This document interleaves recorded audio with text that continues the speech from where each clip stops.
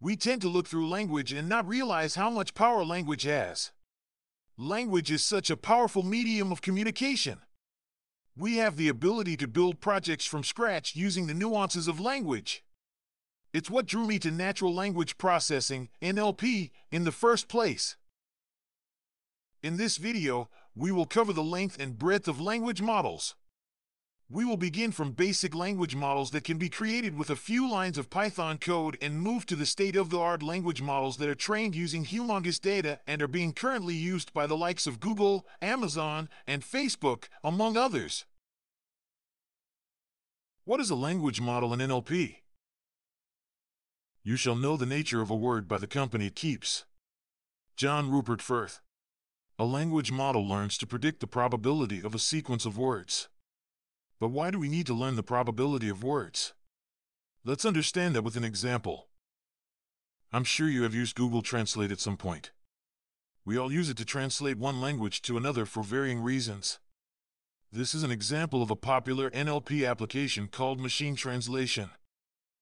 In machine translation, you take in a bunch of words from a language and convert these words into another language. Now, there can be many potential translations that a system might give you, and you will want to compute the probability of each of these translations to understand which one is the most accurate.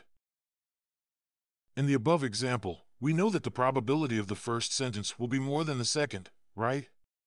That's how we arrive at the right translation. This ability to model the rules of the language as a probability gives great power for NLP-related tasks. Language models are used in speech recognition, machine translation, part of speech tagging, parsing, optical character recognition, handwriting recognition, information retrieval, and many other daily tasks. Types of language models. There are primarily two types of language models.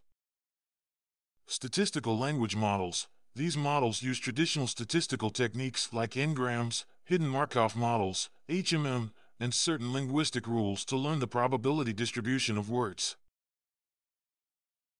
Neural language models. These are new players in the NLP town and have surpassed the statistical language models in their effectiveness. They use different kinds of neural networks to model language. Now that you have a pretty good idea about language models, let's start building one. How do n-gram language models work? An n-gram language model predicts the probability of a given n-gram within any sequence of words in the language. If we have a good n-gram model, we can predict p, W, H. What is the probability of seeing the word W given a history of previous words H, where the history contains N1 words? We must estimate this probability to construct an n-gram model. We compute this probability in two steps. Apply the chain rule of probability. We then apply a very strong simplification assumption to allow us to compute P, W1, Ws in an easy manner. The chain rule of probability is so what is the chain rule? It tells us how to compute the joint probability of a sequence by using the conditional probability of a word given previous words. But we do not have access to these conditional probabilities with complex conditions of up to n1 words. So how do we proceed? This is where we introduce a simplification assumption. We can assume for all conditions that here, we approximate the history, the context, of the word WK by looking only at the last word of the context. This assumption is called the Markov assumption. Building a basic language model. Building a basic language model. Now that we understand what an n-gram is, let's build a basic language model using trigrams of the Reuters corpus. Reuters corpus is a collection of 10,788 news documents totaling 1.3 million words. We can build a language model in a few lines of code using the NLTK package. The code above is pretty straightforward. We first split our text into trigrams with the help of NLTK and then calculate the frequency in which each combination of the trigrams occurs in the dataset. We then use it to calculate probabilities of a word, given the previous two words.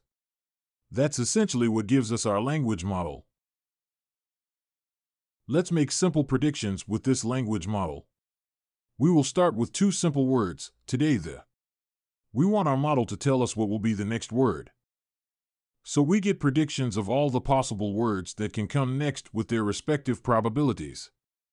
Now, if we pick up the word price and again make a prediction for the words the end price. If we keep following this process iteratively, we will soon have a coherent sentence. Here is a script to play around with generating a random piece of text using our Ngram model.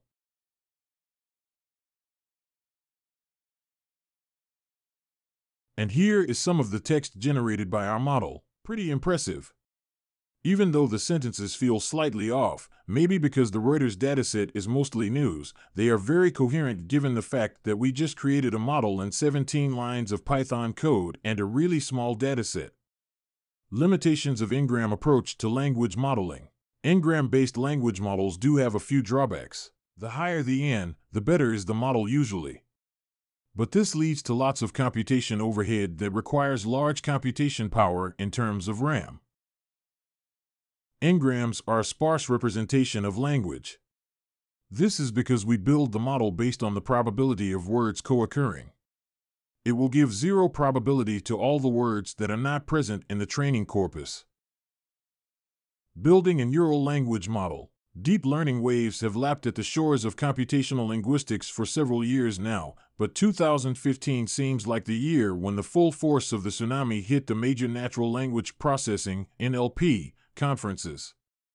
Dr. Christopher D. Manning. Understanding the problem statement.